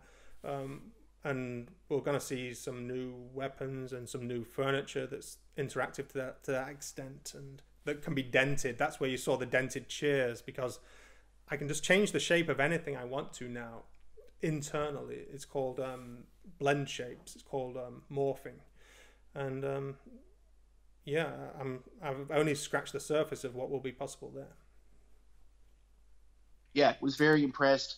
Um, uh, with that. And I think that you know, you, you know, it's gonna be it would be tough to ever match the WWE standard and the creation suite there, just because of the hardware they use and the and the the, the features they've added over time. But I think that if people can get eighty percent, ninety percent of what you know their favorite that'll encapsulate what their favorite wrestler is. Yeah. Um, I think that's going to be more than enough with with with how tight the gameplay has become with your series. Hmm. Thank you. I hope so. Yeah. Yeah. Um, and then the other thing that struck me about this game, and real, I mean, not just this game, but it's really become a theme uh, of your career the size. I've never had more fun with a game that I could download so quickly on the Switch. Yeah, I mean, um, typically, you know, you've got. Yeah, go ahead. I, I was just, yeah, I was just gonna say, um, some people, some journalists criticize me for that, saying it's it's only hundred megabytes. I was like, I'm, I'm extremely proud that it's only 100 megabytes. That it's to, to squeeze that much functionality into a file that small. Um, because that's one of the reasons the mobile app did 50 million downloads. Is because 50 million people said, "Yeah, I've got room for a 150 megabyte game." Um, that's where all the success came from was the, the size of it. And uh, as I said, I, I'm not a fan of games that weigh gigabytes. There's really, if a game weighs gigabytes, I think you're just downloading the sound files of someone who wants to make a movie. Um, it's, it's not optimized for anyone who wants to play it. Um, whereas I like to think that I'm still uh, squeezing a game onto a Nintendo cartridge and all the compromises that that, that brings. It, it shows that your it, so, it shows that your priorities are right. Your priorities are on the gameplay. It is definitely fascinating considering the fact that I think you got it to under 200 this time, somewhere in that ballpark. Yeah, it's, it's 150, it's 150 now. It'll it'll probably go closer to 400 megabytes when there's a whole city to walk around, but um, no more than that. It won't it won't go more than 500 megabytes. Yeah, well, that I mean that's that's great because as it stands right now, you've got more characters in your game than megabytes. I never looked at it that way. I, I, I used to joke on Twitter that I um, games with 280 characters or more in 280 characters or less. But yeah, that's another way of looking at it is that I've got more characters than megabytes in the game. Yeah, that's pretty insane. And then you you also I think you added at least one promotion to this game to kind of you know add your character limit. Um, um, talk a little bit about the idea behind you know going that way with it as opposed to just populating the um, companies with more wrestlers. Oh yeah, I did. Uh, I did have to make that decision. Either I was actually going to reduce the, the amount of companies, not increase it. I was going to reduce it and put more people on each one. But then what I realized was I wanted to see the entire roster on one screen. That suddenly became important to me. I wasn't happy with the scrolling to the side or up and down. I wanted to see the whole roster in one shot, which you can do now with a high resolution screen. Uh, it wasn't possible in any of the older games, but so yeah, and then so that kind of brought the realistic limit to about 35 per screen.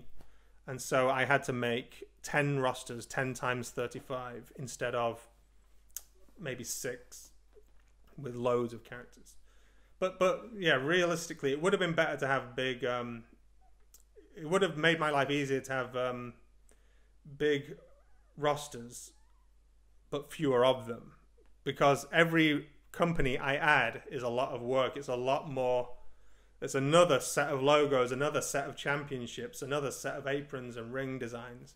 But on the plus side, I got to parody a wider range of promotions, like an MMA promotion, like uh, an NWA promotion, like um, and there's there's two different um, parodies of, of American wrestling. There's the classic American wrestling and there's the modern American wrestling. And so, yeah, there's pros and cons to, to the way I handled that. Yeah, I think what you did was very clever here. Um, you've got um, Federation Online, which was typically the uh, company you would you would you know. Yeah, that used to be mine. Yeah, and then you've got um, your AAW, your All American Wrestling, your uh, Rising Sun, Maple Leaf, Super Lucha. But then you've got um, a Wrestling Revolution brand, which is a callback um, to the uh, mobile games. Yeah. And then you've got Strong Style Wrestling, which in the mobile games, I believe was your MMA yeah. promotion. So it's but all now. Yeah. Now it's like the cutting edge promotion and you've actually added the Weekend Warriors promotion, which is now the MMA promotion. Yeah, so it's very convoluted now. It's all rearranged. Any, anyone who got very comfortable with Wrestling Revolution 3D will be a bit um, shell shocked making sense of it. But to new players, and there are going to be thousands of new players to whom this is all new, uh, they'll just take it in their stride and they'll just accept that Wrestling Revolution is the fictitious roster and, uh, you know, it's all been rearranged and the strangest one is that Federation Online, that was 20 years my own creation, is now uh, a parody of WWE. And the, the I like to joke that they um, that they bought the rights to Federation Online when because when I first thought of Federation Online, it was an online um, like a like a like the WWE network. It was it existed outside of the TV networks, and it was this own little um, streaming service.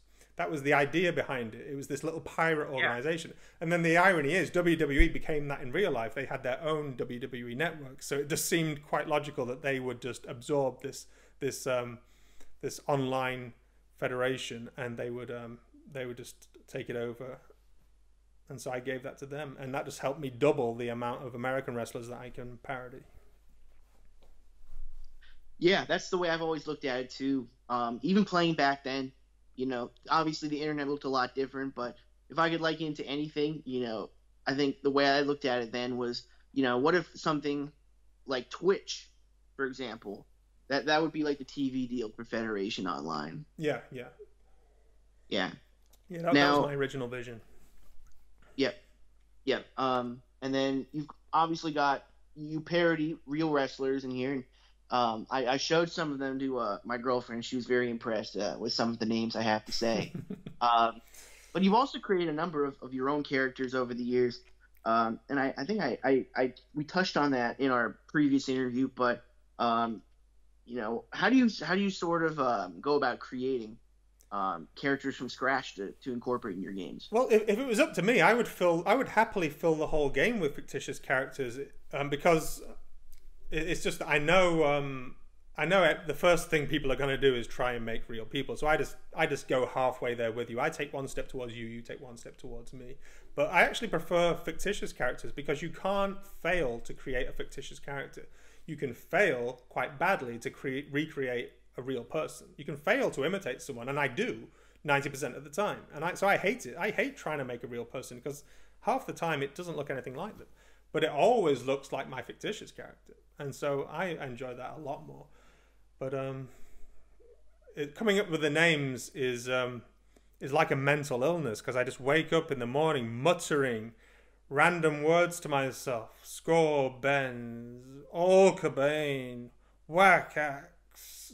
Just trying to think of random words that sound good together. I think it's like that's how George Lucas does the Star Wars uh, characters. I think just trying you, you, you you're just trying to think of just weird things that people have never heard before. Because um, you can't you can't just call someone a normal name; it's too boring. You've got to just have something they've never heard before. Oh, definitely. I think I remember you telling me that Whack-Axe in particular was sort of a happy accident oh, in yeah. terms of it was created. Yeah, because I was in in 3D Studio Max when I was creating the model, I accidentally painted his whole torso pink. Um, and I just kind of like the way it looked. It just kind of struck me as that that's our Bret Hart.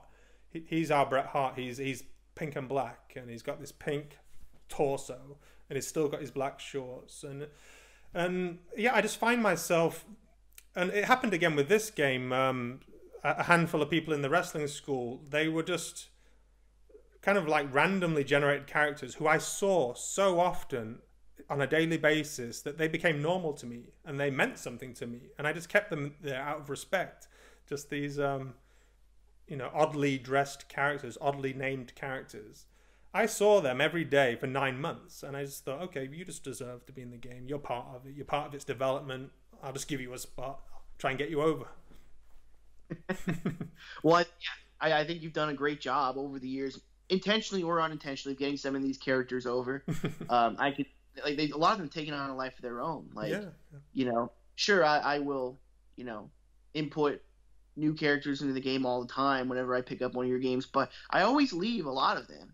Yeah, you know, your Whack-Axe, your whack oz, your um, um, Acrite is another one yeah. that comes to mind. Yeah, uh, it's, it's funny because people say, "Why don't you add more slots?" And I'm like, "I did add the slots. It's those fictitious characters. You can just overwrite them." Oh, we don't want to overwrite them. We want to keep them, and we want more slots. they are the slots. Yeah. I use them for you. Uh, so yeah, yeah. And I think when we talked last, you mentioned that uh, Score Bends was kind of like your Seth Rollins of the of the moment. yeah. I, I, really like that the look of that guy. Yeah. Um, I, I, always play with him when I when I play the career mode. Um, yeah, I, I, tried to get him over. Um, I, I, think I made him one of the champions as well in this game. Yeah, he, I think he's the uh, the champion of developmental. Yeah, the, the, the mid level champion. Yeah. Yeah. um, is is there um, that kind of a character like for this for this new era of uh, MDickie wrestling games? Not an iconic character. There's just there's new characters that are very low level. Um, yeah. But yeah, there's nobody that got the got the big push.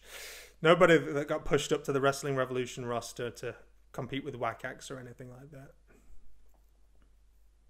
I see. So um, you've mentioned that you know updates are on the way. We got one today. Mm-hmm. Um, I wanted to um, give you a chance now to maybe talk about maybe some of the things that people come to expect uh, from the new Wrestling Empire. We've only just scratched the surface of of the moves that were already in Wrestling Revolution 3D, and we're gonna we're gonna equal that, and I'm gonna move past it with lots of new moves, um, some of which have never even been seen in real wrestling before. Uh, lots of moves of my own creation, lots of moves from the real sport that haven't been added yet. Lots of new combinations of moves that we've never seen before. So there's lots to unpack just with the in ring action. Uh, there's going to be a six sided ring, there's going to be more storylines, there's going to be a booking mode that's more ambitious than anything we've seen in any of my uh, previous games. And then I'm going to try free roam, um, which could backfire. I could put all this effort into free roam just to find that people say, "Nah, I can't be bothered. I just want to just go straight to the match. I can't be bothered to walk to the curtain. I can't be bothered to go to the gym." and so um, I'm half-hearted about the free roam. I think I'm going to try my best, but I think people think they want it, but then when they're sat in front of it, they might say, uh, "No, we're just going to skip this bit." But I'll try and make it so uh, so chaotic, so anarchic, and so interesting that they have to give it a go. I think that free roam is could be a, a very fun addition to this game. Um, how like how do you anticipate it being used though? Would it be like a um, a uh, a setting that you could go to if you wanted to like start an exhibition? Would it be something that you'll get automatically inserted into um, before every match you have? Like, how would that kind of? Well, it, it won't be called compul- it won't be compulsory. It'll, it'll be like um, at, at, the calendar screen. It'll either say proceed or roam, and then you'll press the roam button to um, pick up where you are in the real world, and you will either like walk to the hotel room to to do, to sleep or walk to the restaurant to eat. You will walk to the gym to work out. You'll walk to the medical bay to get medical treatment. And you'll even be trusted to walk to the curtain to enter the match at the right moment. And so it puts all these pressures on the player to do all these things that are happening automatically at the minute. And I'm hoping to make it so seamless that you can take it or leave it. So you can either press proceed straight to the match, or you can walk yourself to the curtain and talk to some people along the way. Or you can skip to the next day, or you can walk yourself back to the hotel room and go to sleep and choose when you're going to exercise, when you're going to eat. And somewhere down the line, diet might even become important. Eating the right foods at the in the right proportion. Uh, will all of these different facets of being a real wrestler will become important and so yeah i'm, I'm hoping to make it interesting enough that people do embrace it and do use the feature and uh, we'll see how it evolves from there yeah that's something that i i, I mean it hasn't it's not unprecedented no, for wrestling no. games but for everything that you've described you know bringing it all together like that is unprecedented and i think that that's something that people are going to be very happy with. Um, yeah, I going so. forward. Another thing that, that did come to mind was a lot of people. You know, I know you don't read the Facebook comments, but a lot of people were asking about um, the ability to um, talk to people in your career mode, like voluntarily. Yeah. Um, I'm sure that I'm sure that'll be making a comeback very soon. Yeah, it's got it's going to come back in a basic form very soon. Um, uh, when you when you click on the roster screen in the career, you will be able to click on a character and you will be able to um, you'll be able to either approach. You can already approach them to be a manager or a partner. You'll be able to approach them to arrange a match and things like that, and then that will kind of there'll be a, free roaming version of that where you literally try and hunt people down in the locker room and, and encounter them face to face. And I've got a few mechanisms that I know how it's going to work and hopefully when I see it in front of my eyes, um, I'll I'll still feel the same way about it. The other thing that um, that I was seeing was uh, people were asking about, you know, what what kind of possibility would there be to have like a like a title editor in a game like yours? Um, because we we are seeing some different belt designs that we haven't seen before. Yeah, I, have at least managed to make it possible to change the color of belts. But changing the design of belts is um, is a very tricky process because it wouldn't have the logo of the company on it. That would be too much to have. Well, we've got ten companies times four divisions. That's forty different belt designs. There's already a huge workload, a huge workload, and a huge load to store in memory. It's not a good use of resources to have forty belt textures that have to be somewhat high resolution for something that you only ever see from a distance. It's um, it's a lot of work for very little benefit. So that's usually where I draw the line. So I think I've taken belt customization as far as I can, but what I might be able to offer is the ability to go in and customize the promotions and change their color schemes and change what color belts they have. Um, but the designs themselves, I can't imagine how I'll have a good enough variety of designs. There's only so many ways you can depict a gold belt. It's just, I mean, I struggled to create four different ones. I can't imagine creating 40. Yeah, but that doesn't stop companies like WWE from trying all these. no.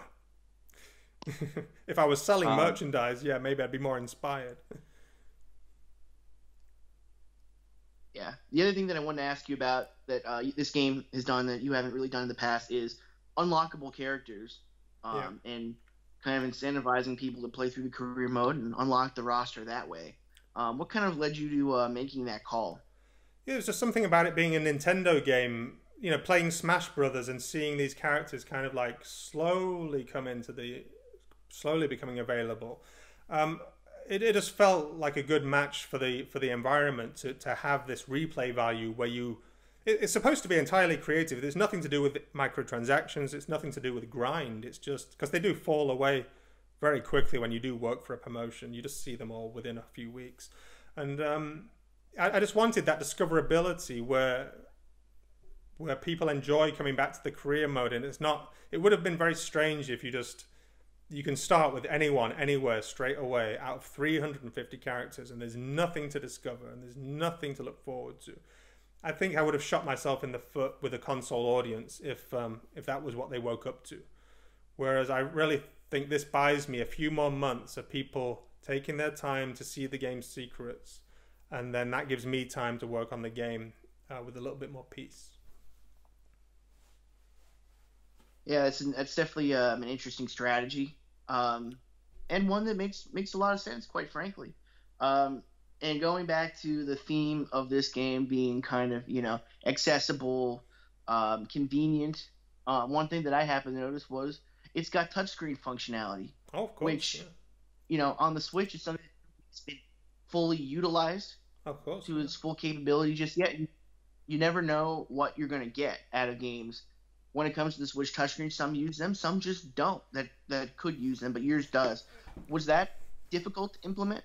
Oh no, that was that was day one. Day one, I'm bringing my mobile experience to the Switch. This is, it, yeah, day one touchscreen.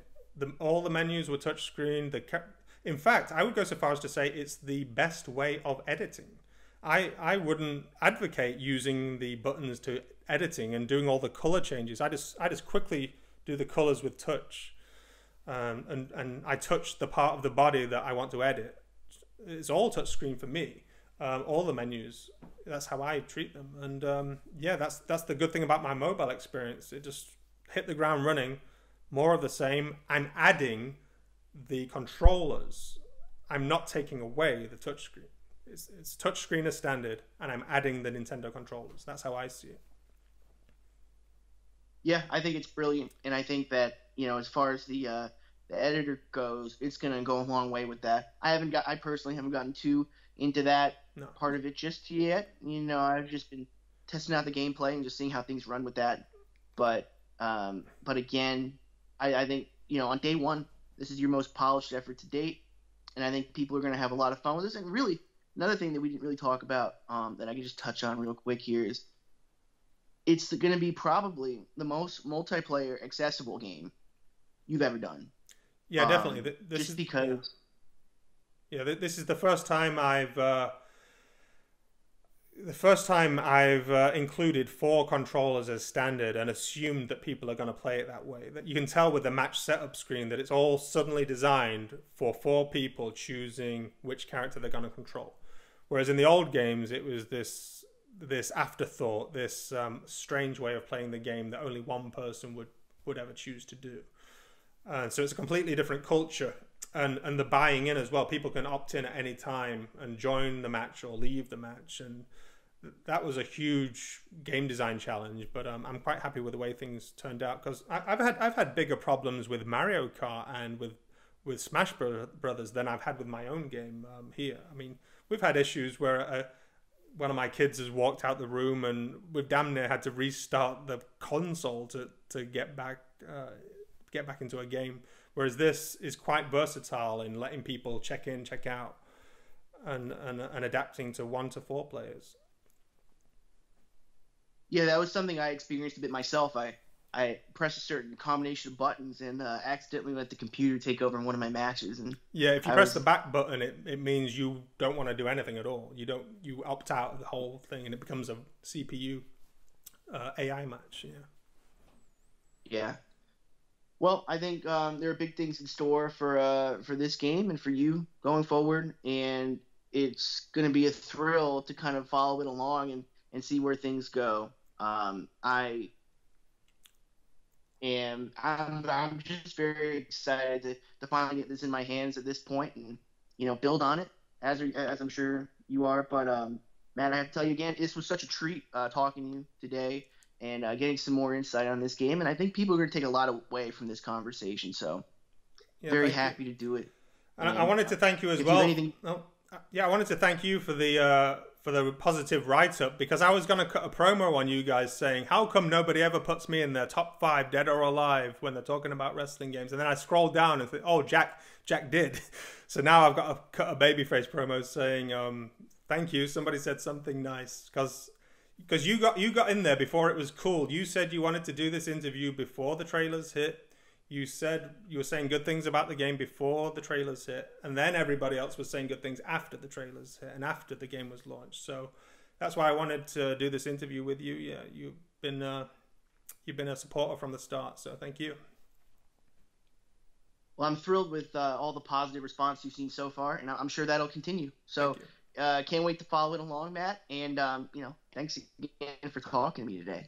Cheers. Stay safe.